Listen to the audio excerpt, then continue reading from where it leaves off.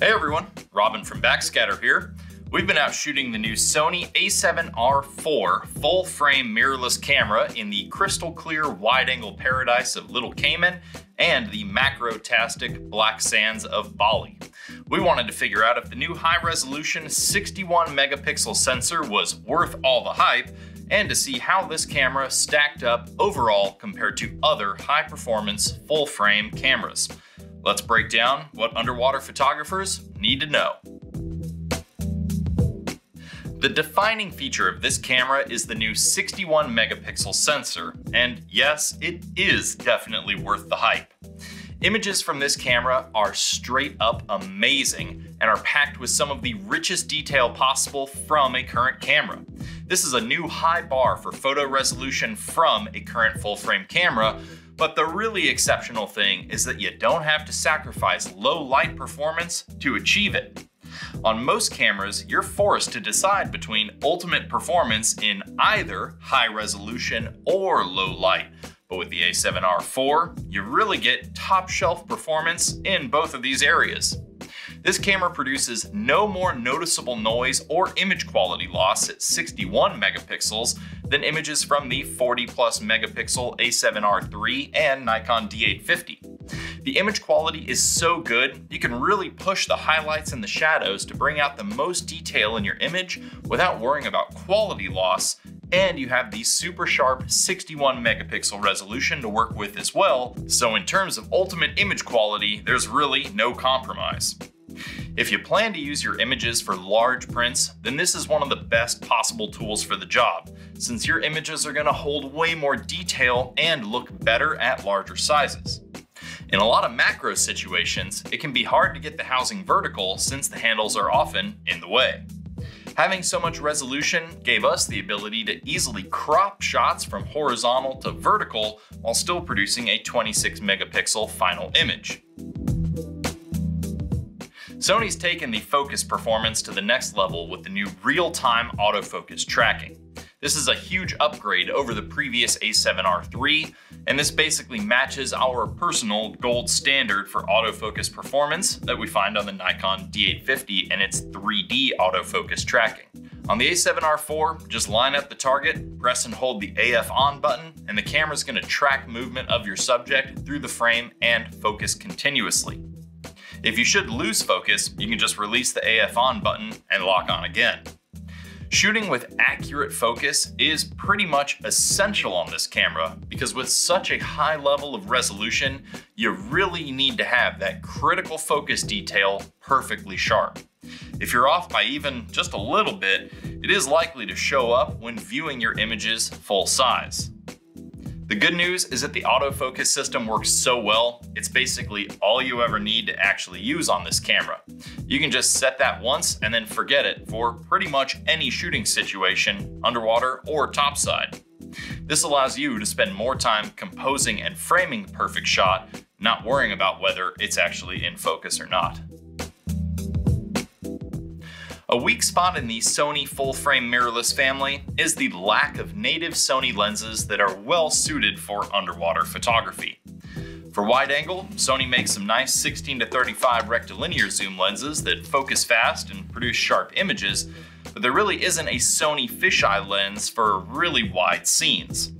It is technically possible to use a Sony 28mm prime and a fisheye converter, but the distortion that it produces in the corner of the images is basically a deal breaker. On the macro side, we really only have the Sony 90mm macro lens, which produces excellent image quality, but it's pretty slow to focus, to the point of being practically useless for macro autofocus, which is going to lead to a lot of missed shots. It's also limited to an aperture of only f22, which is going to make it harder to get more depth of field and to create a darker background in bright shooting conditions. By using the Sigma MC11 mount converter, we're able to adapt Canon lenses and offset the otherwise kind of weak Sony lens selection. Use the Canon 8 to 15 mm fisheye for a true fisheye wide angle experience. The autofocus speed on this lens is at least as fast and accurate as using a native Sony lens, and you get the excellent image quality of Canon L series optics. When shooting macro, use the Canon 100mm.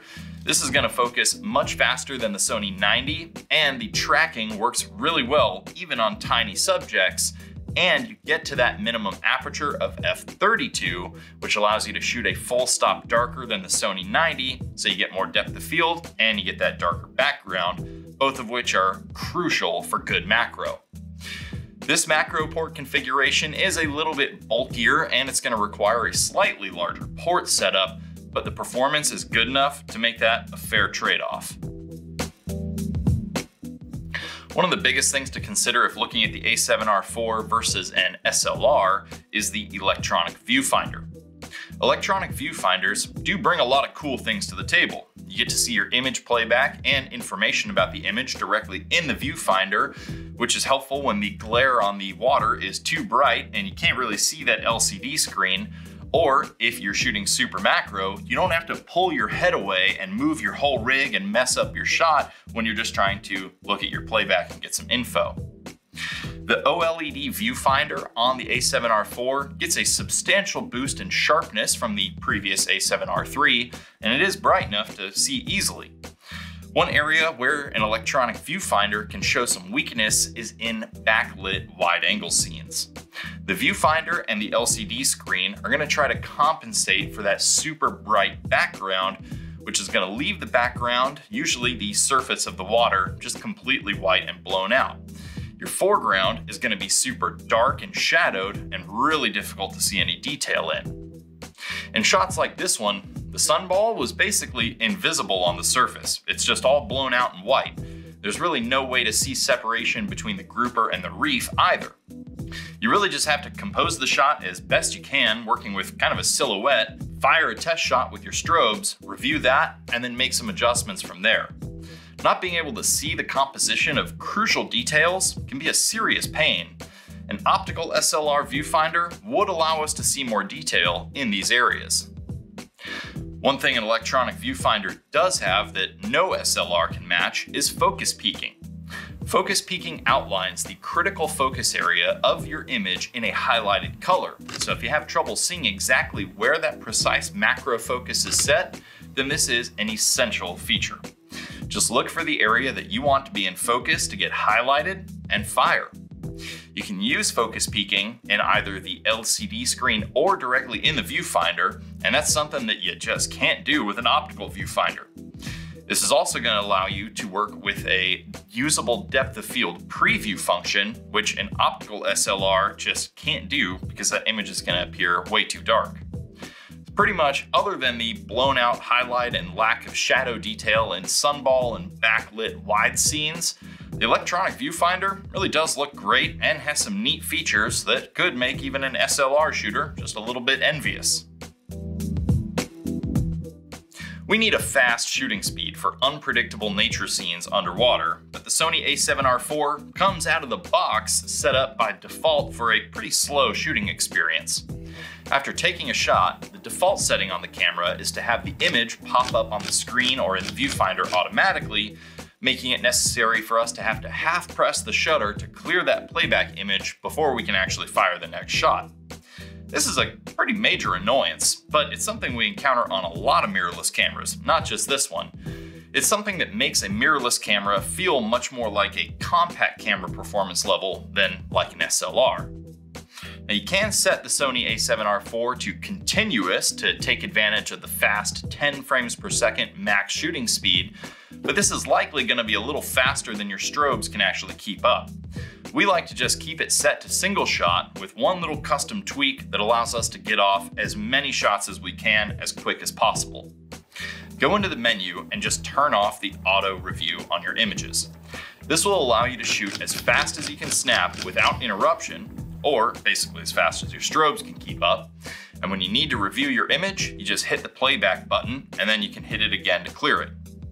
You will have to wait a little bit for your image review because these massive images do take a few seconds to write to your SD card, but since we're not dealing with auto review pop-ups, we can at least just keep firing and capture that split second action while it's going down instead of getting bogged down by auto image review.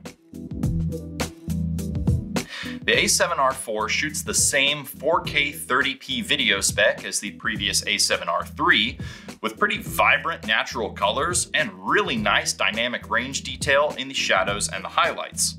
Overall, the video results straight out of the camera look pretty solid.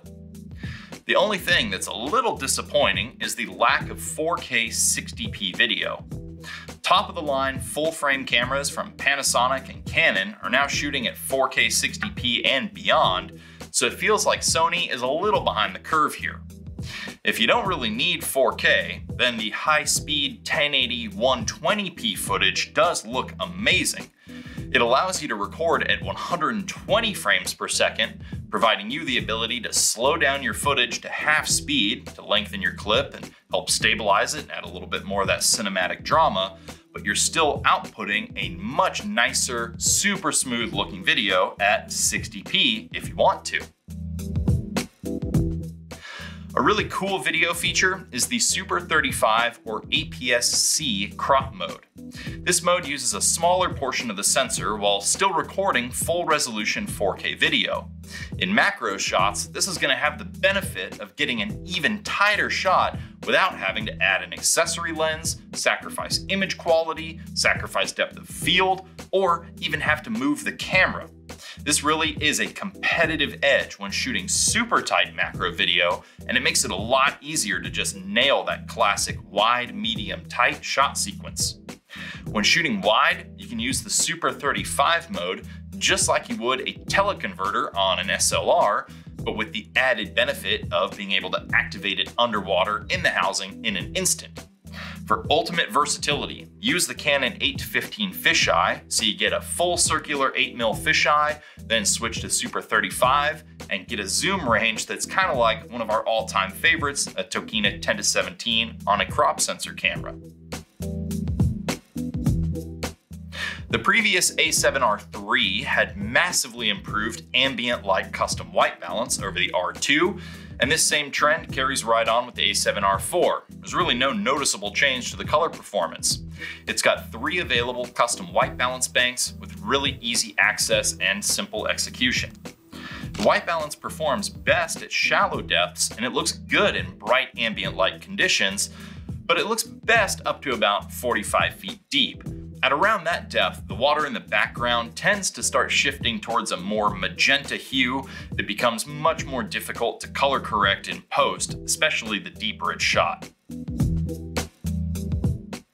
There's no question, the Sony a7R4 is the next evolutionary step in ultimate photo quality.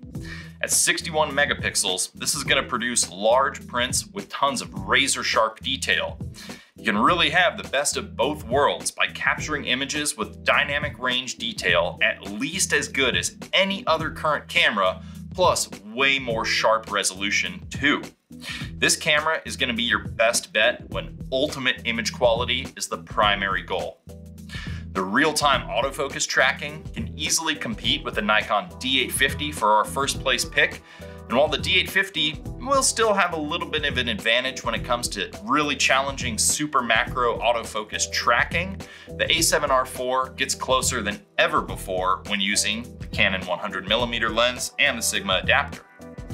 We do wish Sony would just develop a proper fisheye lens and a better performing macro lens natively, but thankfully there's good solutions for now by using that adapter and some Canon glass, even if it adds a little bit of bulk and it's not quite as streamlined as a native solution would be.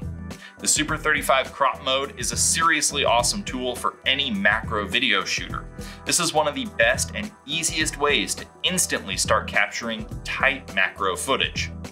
For video shooters, whether or not this camera really fits your needs is going to depend on the type of shooting that you do.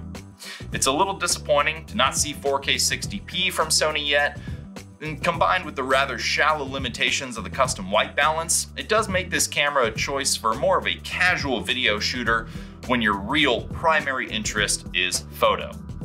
If you're looking for the hands down best still image quality and the best resolution, the Sony a7R IV edges out the competition to be our top pick. To learn more and to build your perfect underwater rig, just give us a call or you can send us an email at sales at backscatter.com. We're always happy to answer every question, and every purchase from Backscatter always includes free lifetime tech support, so we'll always be here and happy to help. I'm Robin from Backscatter signing off, and happy shooting.